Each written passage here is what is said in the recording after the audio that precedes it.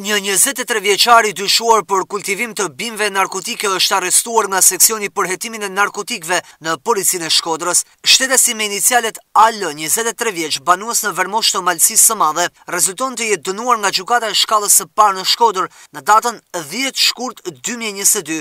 Gjatë seancës gjyqësore, trupa gjykuese ka vendosur ndryshimin e masës së sigurisë nga arrest shtëpie në arrest me burg për këtë shtetas. për veprën penale Kultivim i bimëve narkotike.